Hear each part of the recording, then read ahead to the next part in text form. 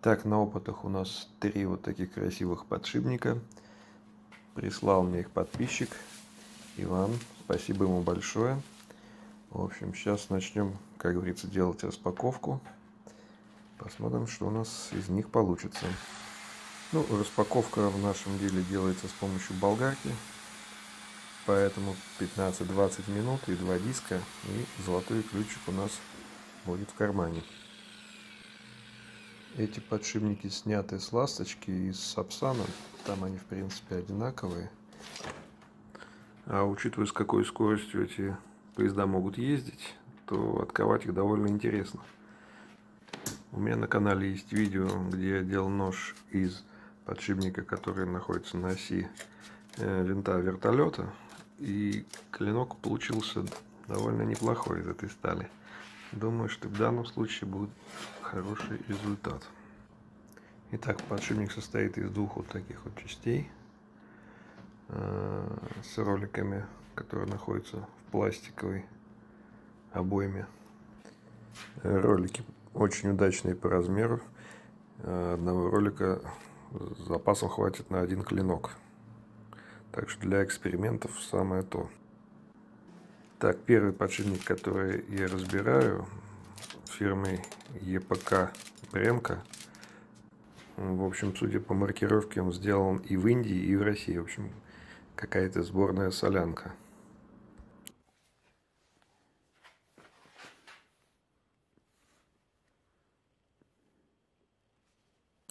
В общем, в итоге получился вот такой кузнечный набор на любые случаи жизни. Так, дальше разбираю следующий подшипник, но на этот раз более простым путем. Это подшипник СКФ, но везде маркировка Россия. Итак, я разобрался подшипники. Получилось три комплекта. Значит, первый это ПК Бренко, сборная солянка русско-индийского производства второй СКФ Россия. И третий это ФАК. Везде на каждом элементе стоит Италия. Кстати, самый симпатичный по внешнему виду, по качеству изготовления, как мне показалось. Несколько кусков обойма от ЕКП я отправил Ивану Копичникову для опытов. Но, к сожалению, оказалось, что они э, науглероженные. Поэтому я сейчас покажу, как это проверить. Нужен 3-5% раствор азотной кислоты и срезы обоймы подшипника. Итак, проверяем. И сразу видно, что появляется темная каемка по периметру подшипника. Это как раз та часть, которая была науглерожена на заводе. Проверяю остальные подшипники. Должен быть ровный серый цвет. То есть подшипник ЕКП у нас выпадает из соревнований. Остается СКФ Россия и ФАК Италия. Ну, в общем, подшипник ЕКП тоже нашел свое применение. Сделал из него такое приспособление, которое позволяет выгибать клинки перед тем, как проковывать спуски. Давно хотел сделать такую штуку, но все, не находилось подходящего материала. Итак, начинаем ковку клинка. Первым у нас идет ролик от итальянского подшипника. На что я сразу обратил внимание, это на то, что очень сильно сразу сыпется окалина. Сначала я подумал, что это обгорает масло, но окалина продолжала сыпаться всю ковку. Причем, что на СКФ, что на ФАК, э, окалина практически одинаковая. Скорее всего, Туда добавлены какие-то легирующие элементы типа ванадия или вольфрама. Ковку я веду, как обычно, при низких температурах. И на обычных подшипниках от автомобилей такой окалины не встречается.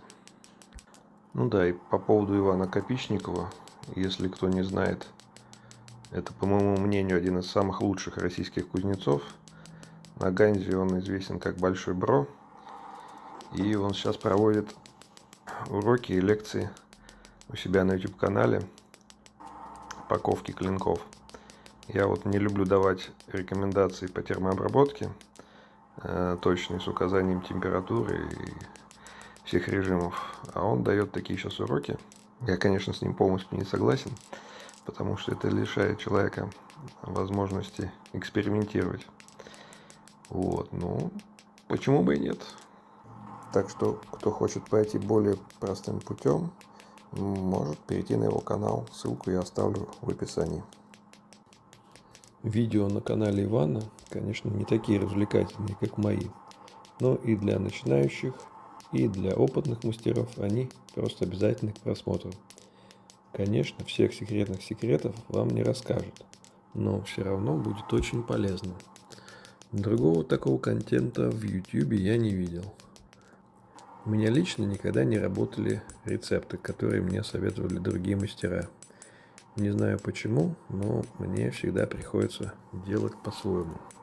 Думаю, это связано с режимом ковки, освещением в кузнице, калибровкой муфельной печи и еще кучей других более мелких параметров. У каждого мастера эти составляющие разные, что в комплексе дает совсем другой результат, чем планировалось. Поэтому добиться хороших свойств клинков можно только подбором. А вот что вам менять, никакой другой мастер вам не скажет. Это как лечить по фотографии. Для этого нужны собственные знания, которых нет в рецептах. Поэтому учебник металловедения – это наше все. Также необходимо сказать, что оружейное мастерство испокон времен было секретным и остается до сих пор. Мастера по большей степени делятся намеками. Почему? Ну, во-первых, чтобы враги не узнали, а во-вторых, так интересней, и не каждый поймет. Например, статьи Виктора Васильевича Кузнецова написаны именно так. Вроде все понятно, а начинаешь делать и ничего не получается. Во всяком случае, до меня что-то доходило только когда у меня получался похожий результат. И иногда вообще случайным образом. А потом, когда я перечитывал, я часто спрашивал, где были мои глаза. Ну и до Кузнецова таких примеров было достаточно. Например, Дмитрий Константинович Чернов в известной работе, посвященной критическому обзору статей Лаврова и Колокутского, говорит по большей части вовсе не о пушках. Или, например, всем известный Аносов также отличался подобным изоповым языком. В общем, никакая информация не бывает лишней. Надо отовсюду брать что-то полезное, а не рецепт целиком, как мне кажется. Далее кую второй подшипник СКФ российского производства или сделанный для России, точно сказать не могу.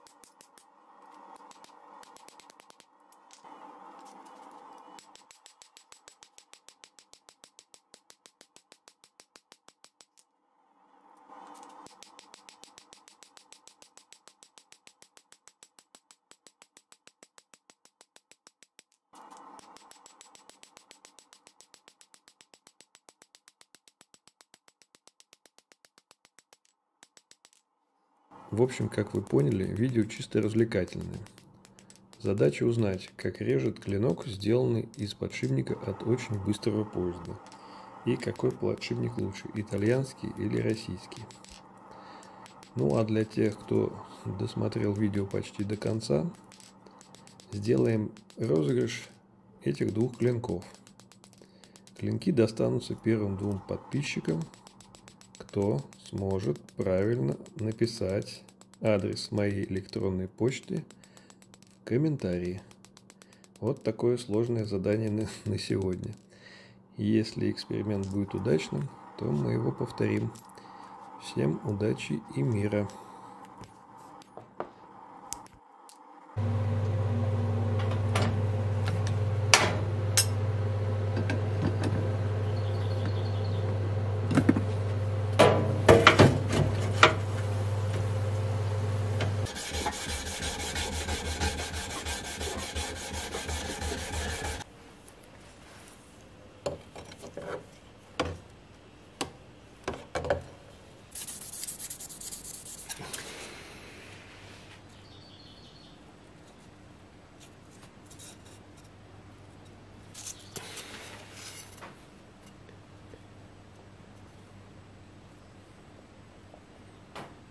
Батл, батл. Вот один у меня СКФ, СКФ это что? типа российский подшипник, а второй итальянский, типа ФАК. А СКФ это типа... Но на нем везде выбито, что это Россия. По-моему, скорее американский. Япония уже Россия? Второй факт, Этот ФАК. покажи, как пишется. Через Г. Через Г. ФАГ.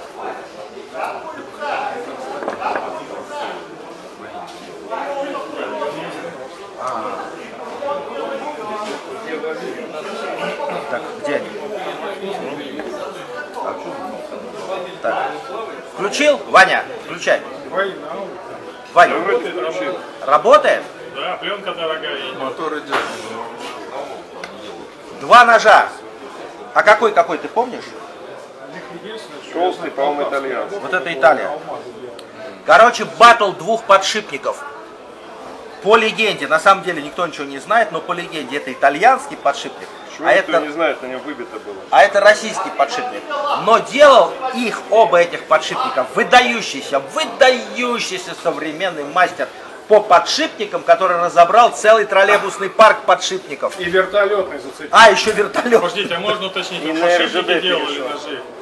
А, Он зацепил все. Короче, идите всем. Задний Так, нет. это Еще бы хотела это самое узнать, какие у него части выдающиеся. Это российский, это итальянский. Мы сразу их узнали.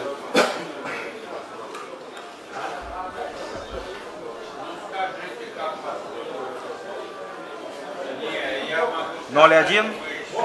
Российский. Ваня, ты за Россию болеешь? Я да. Ее отстранили. О! Полить сложно. 008 итальянский. Итальянский. Более агрессивный. Чего снял, Жень? Макароники. Я буду за Италию. Это болеть. Сапсан. Нет. Дизайн хороший. Нет, я против. Россия это на Я думаю, что они не ездят. подшипников нет. Кстати, а кто в футбол-то выиграл? Еще не выиграл. Сегодня будет. Ах, они только сегодня А играют? родоначальники играют с испанцами. А вот интересно, второй, третий они теперь не играют? Не играли? На Европе сразу дают два третьих. А вот на Кубке Америки неожиданно сборная Канады выстрелила.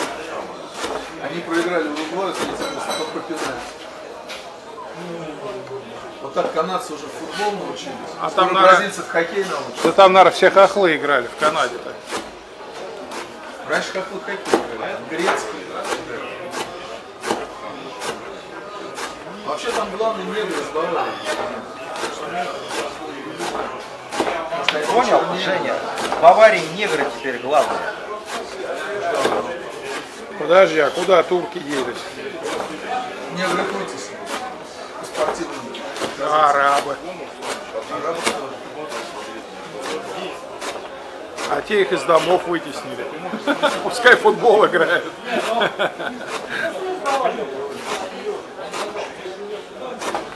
Егор Сергеевич, ты уже уходишь? Да я пойду. Так, роль Что, 50. даже и не выпейте ничего? Нет, выпью. Так, с какого вы там начинаете? Это итальянец? Итальянец. А ты будешь этим резать? Я уж порезал. Российским порезал? Да. Вот этот надо еще на заточку. Резать будет. О! Очень зубастый. Опаньки, 3,8. Итальянский. А российский? Порезал. Чего?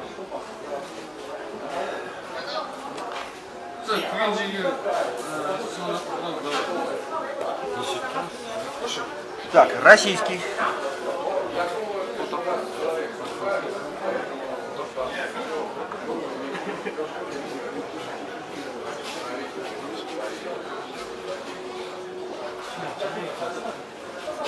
Два идеи. Опаньки, еб... Египетская сила. Что, Ванади здесь есть, мы победим? Я Уронил. за привычка, а, Женя? Вот скоро будет по стойке смирно на сайте не дышать при тебе. Вообще Ну и правильно. А то избаловался, тут вел себя непотребно. Е... 3,2 российский. российский муж. И он режет мягче, мягче. Ну ты, блин. А были ставки на Италию. Дмитрич, вот Дима просил погладить. Перетест у него. Номерной нож. Перетест.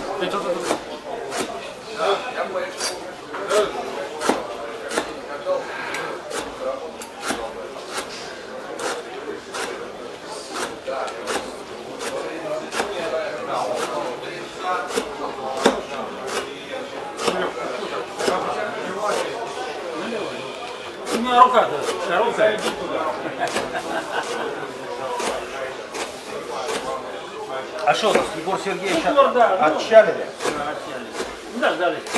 Так я уже что продал. С утра.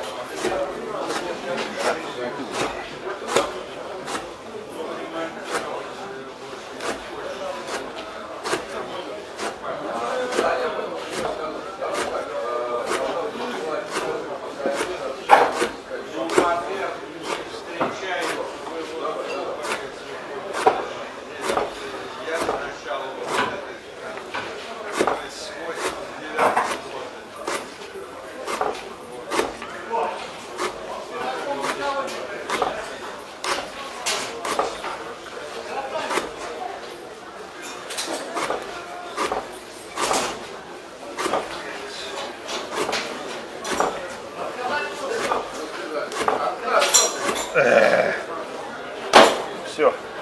Паспора? Кто сдохнет? Я сдох. Итальяно.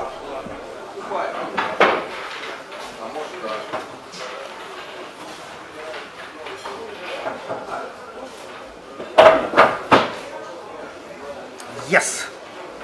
Что, семь? No.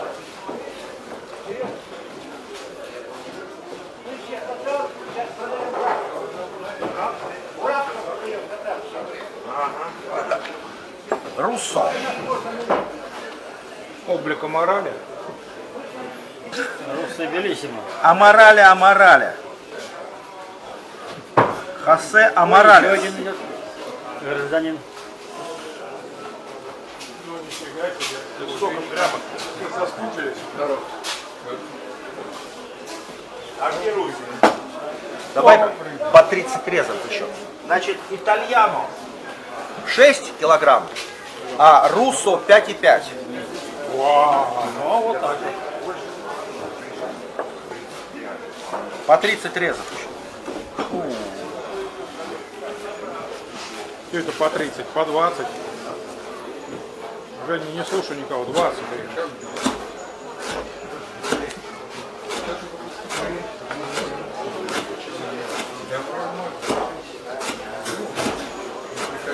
Ты когнак будешь?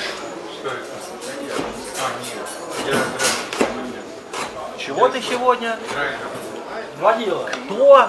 Ну, драйвера, знаете, для, для, для видеокарт. Слушай, дедушка старенький, ты Кем только люди не прикинутся, лишь бы водку не пить, а? А вам что, плохо? Больше остается? Да я, собственно говоря, как бы не жадный. А зато вот скушай вот эту штучку, это из Сочи. Слава, кстати, вот тут. Так, 20. 20. Ну, Руссо 20. Есть, Итальяну 20. А И пронто бисимон, беблисимон, беблисимон. Ее прям большим куском? Нет, ее просто берут и в рот, не на хлеб. Ее не на хлеб, ее в рот кладут. Нет, не, намазывай на хлеб, не надо, что вы. Ну лишили удовольствия человека, елка. А, это такая штука? Сообразил. Ты Я что, думал, на юге, это- что ни разу не был? Я думал, это колбаса. Ладно, на юге. Какая колбаса На речь? Черкизовском рынке. Соки, да. На юг не обязательно ездить. Это север Москвы опять же. На Черкизовском. В бухте. Чахлома, пахлава, махлава. Итальяно. Сколько? Ровно 7. А сколько речь? Пока не знаю. 20, да?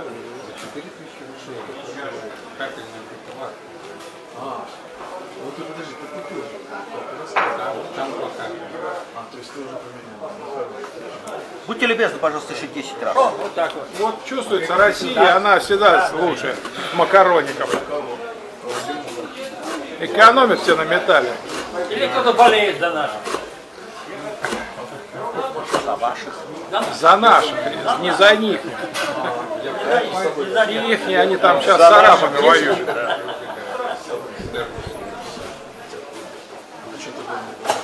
Игорь Дмитриевич, я так понял, что это самое. Великое переселение в Крым-то откладывается, Нет, они там расширяются. не откладывай, а еще 5 можно?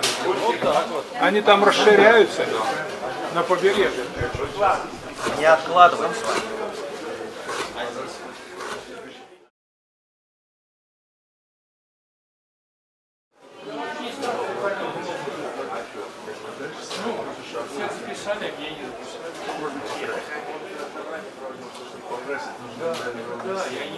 Надо побольше кусочка отрезать, надо он еще вытягивает волну.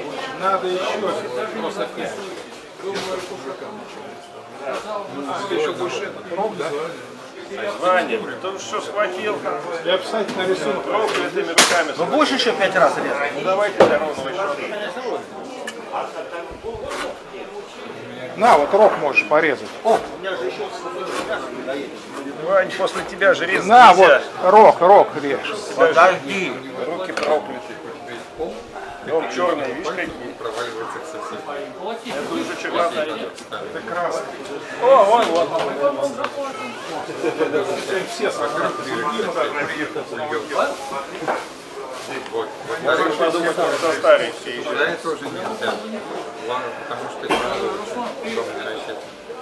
не рассчитан. Лаги и... Это все распродал. Ну что, сильно? Нет, его надо жестко зафиксировать, тогда он И удрал. Не да. И удрал, да? Пошел ручку. А что еще забыл? В общем, победил. Победил СКФ сегодня.